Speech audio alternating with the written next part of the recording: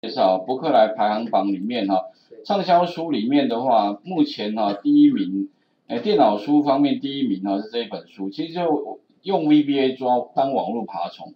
不过其实我也实际上用过了，我上课也教过，但我觉得还是没有 Python 来的好用。所以如果爬虫部分，我建议啊，干脆直接跳跳过 VBA，直接用 Python，可能相对会比直接用 Excel VBA 来的简单一些些。啊，主要原因是因为哈那个呃在 Python 里面哈有一些这个模组哈，哎是非常好用。今天的话呢，至少哈我们你要会一个模组，其实就比 VBA 强强大太多了。OK，然后另外的话呢哈，你就可以很方便的把你需要抓的东西给抓下来。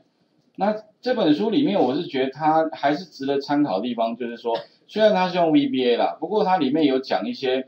基本的相关知识，比如说你要爬网络资料的话，第一个的话哈，你一定要先对那个网页的结构哈，一定要有一定了解。因为网页里面的话，我前面讲过嘛，你一定是一个 HTML，不管你哪个网页嘛，按右键有没有？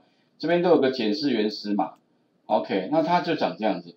所以你要爬它里面的资料，你不是说你看到的东西哦，你要爬的是爬后面的东西哦。那后面的东西至少包含。啊，几个东西哈，第一个 HTML，OK 有没有？里面很多标签嘛，有头有尾嘛，对不对哈？第二个的话 CSS 有没有？就是一 class，它什么什么 class 哈，哪哪一个底下的话它有什么呃 class 有没有 A class？只要是 class 的话就类别。其实 CSS 有点像样式啦，阶层样式表。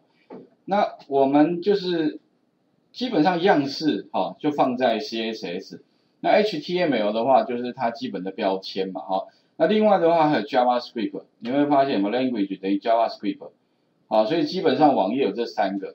啊，另外啊，如果严格在讲啊，这是前端的 JavaScript 是属于前端的程式。那另外还有后端的东西，所以如果说你前端熟，你后端不熟，你要抓资料了，可能也会有一些盲点，啊，所以哈，你要抓资料不是说你现在就直接。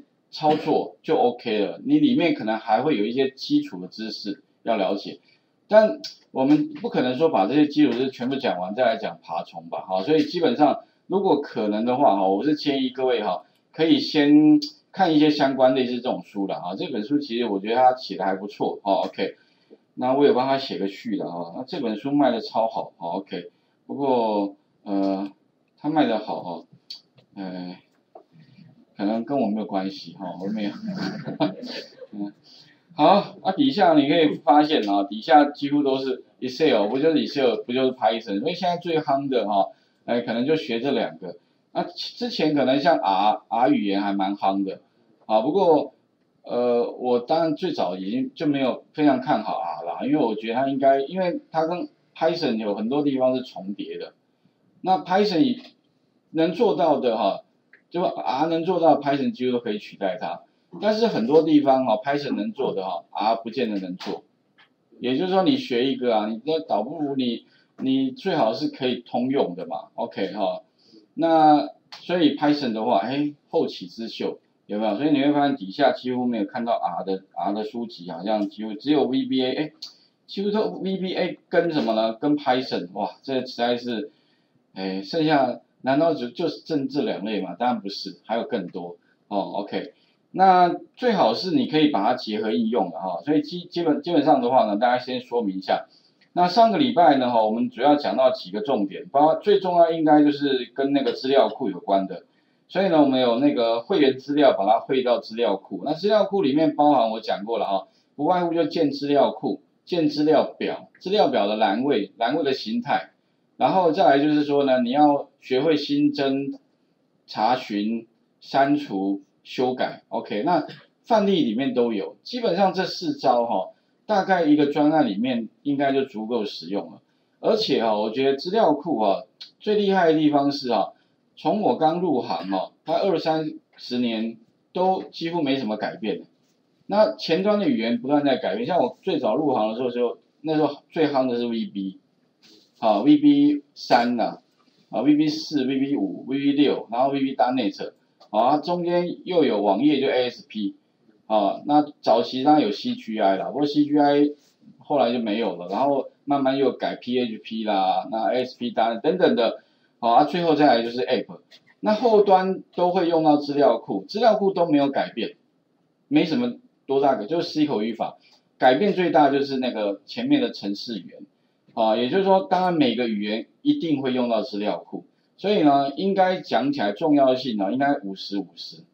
可是你会发现学资料库投投资报酬率很高，为什么？因为都没有变，所以学一个哦，你会发现都 OK，会变的就前面的语言变了一下而已啦。OK 哈，那我们前面主要是了解这些啊，另外我讲到有关像那个呃，我们是用 SQLite 是单机的，所以未来如果说你们要呃跨电脑的话哈，可能要用像 MySQL 或 MSQL 这种比较大型的呃 server 型的资料库。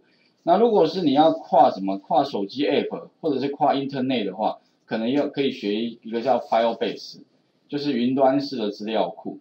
啊，那东西的话就在云端上面，你可以去把资料从云端资料库捞下来。那可以在任何装置，不管你是啊 PC 也好，或者是你是手机、平板，哎，OK 哈。那这些东西云端上我都有补充的，只是说我们没有那么多时间讲那么多东西。所以如果你们有兴趣的话，可以自己再花一点时间看一下，OK 啊，这些东西的话呢，哈，我比较诉求就是你学不要只学单一程式哦，因为其实很多应用都不可能只是单一个程式可以完成的事情。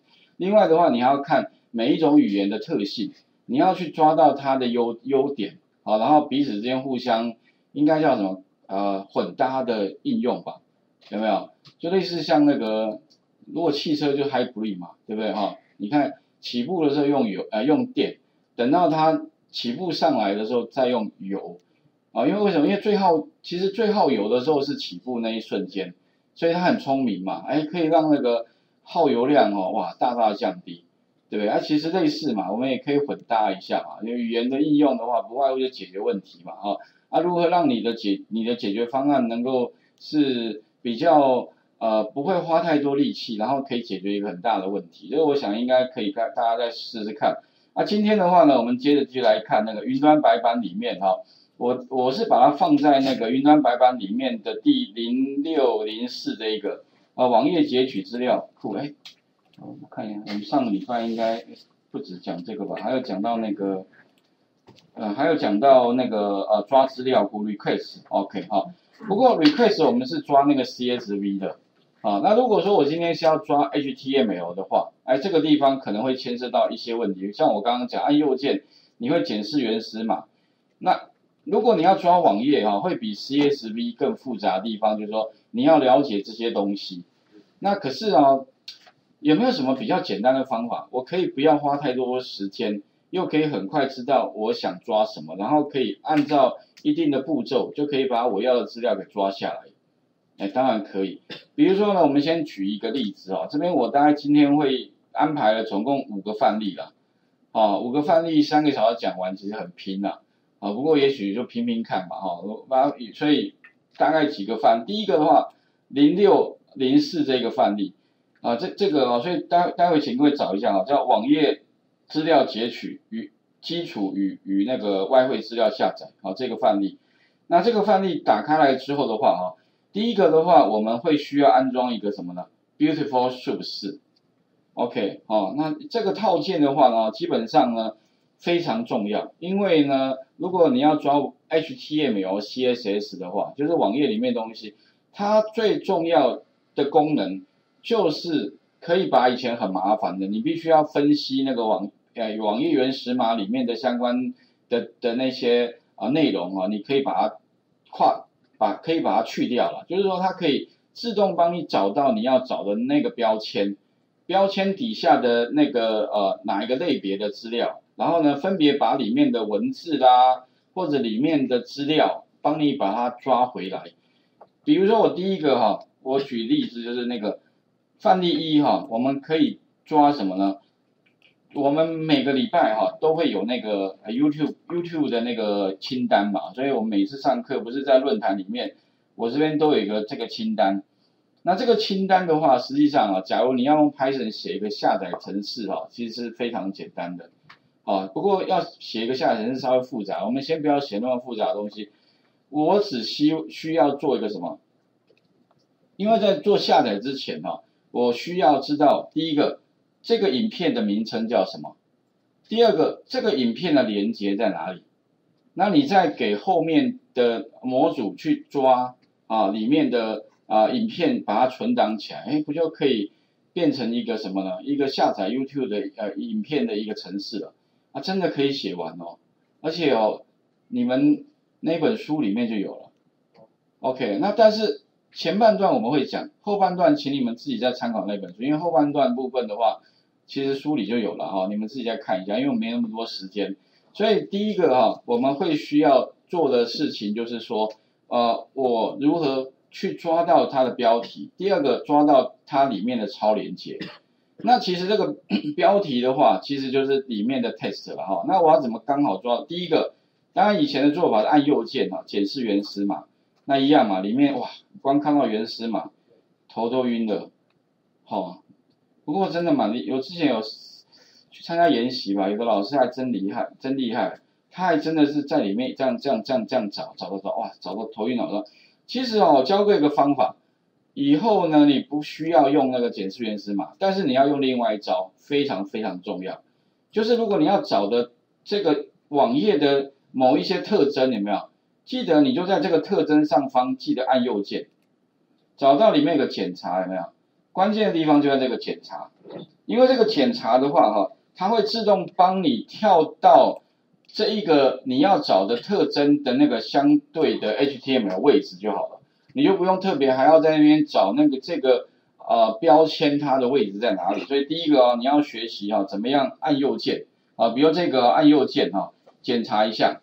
那它会在我们的美国理论上应该会在右边，我把它大可到到右哎到这边，你按右右边之后你会发现呢，它会自动跳出。它的原始码所在的位置，OK，有没有发现？另外的话，如果你移动它的话呢，它也会改变。你有没有？我我这个地方哈，假如说我改变了，有没有？我我指这边的话，你会发现哦，它会跳到这里，而且告诉你说啊，相对于那个网页上面的位置就在这里。所以如果我要抓的资料哈是在哪里呢？哎，你会发现点点点，哎，点到这里了，有没有发现？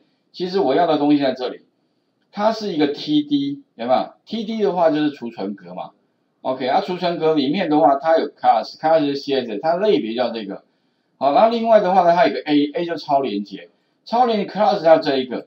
所以基本上哈，我们如果要抓的话，我就抓到它的特征，然后它的特征就 class，这就这一个，那我就可以用 Beautiful Soup 四哈里面的呃方法去把它 get 回来，就我要抓就是抓这个东西哦。那这个东西里面有包含几个地方，就是它的超连接，这个是我要的。那超连接放在哪一个呢？放在 href 里面，所以我就抓它的属性，叫 href 的属性，后面东西帮我抓过来。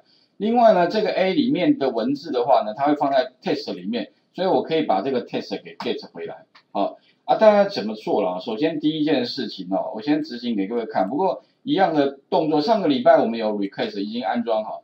但是今天的话呢，这个 beautiful soup，这 beautiful soup 啊，我执行一下，应该是会错了，因为他会跟我讲说，应该是也是跟上个礼拜哈类似的状况，他找不到什么呢？找不到 no module 哦，叫呃叫什么 bs 四，那我们是用 bs 四里面的这个 beautiful soup 模组，OK，它它可能是一个 package，package 里面的一个模组叫 beautiful soup，所以我们要先把它装起来，啊装的方法还记得吧？哈，上个礼拜有讲过。一先找到哪里呢？找到那个我们的 Python 的那个路径，好，我是放在呃我们的 Python 三七三二。二的话呢，哈，两个方法了哈。如果你电脑里只有一个版本，那你就直接到 Script 里面，哈，直接这边打 cmd，然后打那个 pipe install，然后就 Beautiful Soup 四。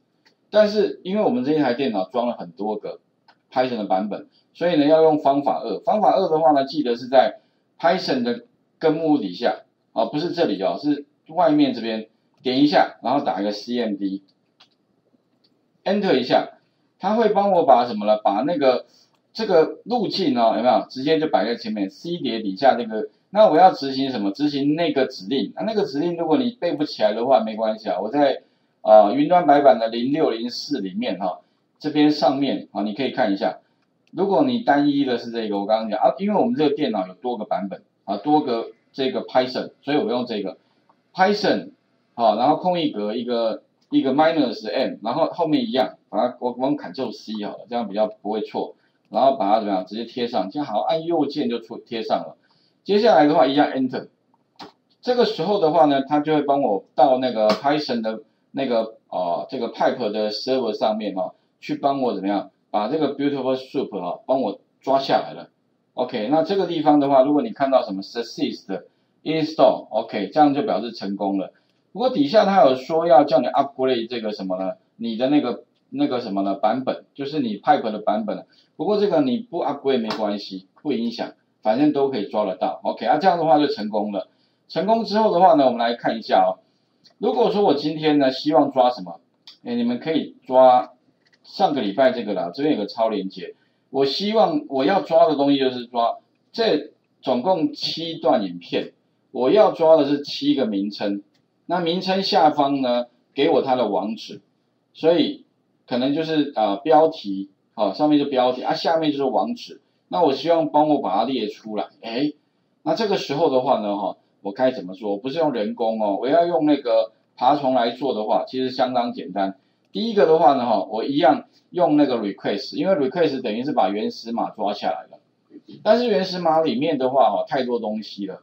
那我可以用 beautiful soup，好，所以你可以 from bs 四啊，就是一个一个套件，好，里面 import import 这个东西叫 beautiful soup，那已经装了啦，理论上应该 OK。再来的话用 html 哦，这是 request 里面有个 get，跟上个礼拜一样，get 什么呢？